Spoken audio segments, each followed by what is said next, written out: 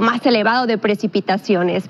¿Cómo despertamos en parte del estado de Sinaloa, parte del estado de Sonora? Hay que checar las temperaturas al momento en la perla del Pacífico, el puerto de Mazatlán. ¿Cómo iniciamos la semana? Rápidamente nuestra pequeña actualización. Hay que conocer el termómetro y por supuesto darle seguimiento a las condiciones de cielo. Hay que checar qué tanto pronóstico de lluvia tenemos para el día de hoy en Mazatlán. Un porcentaje alto que varía de entre el 40 y el 70%. Despertamos con 28 grados, teniendo una mañana mayormente nublada alta la humedad ya que nos marca el 70%, la temperatura máxima a los 35, pero vea usted la sensación térmica superior incluso a los 45 grados centígrados. No hay que confiarnos de estas condiciones de cielo mayormente nubladas.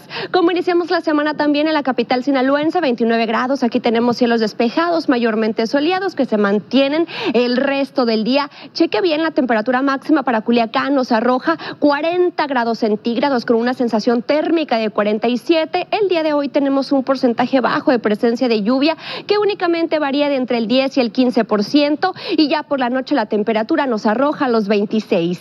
En el sector de Guamúchil es importante conocer también el pronóstico del tiempo para de esta manera organizar muy bien nuestras actividades. 31 grados al momento teniendo una mañana despejada mayormente soleada, la humedad al 60%, la temperatura máxima a los 39 pero con una sensación térmica que podría alcanzar hasta los 48 grados centígrados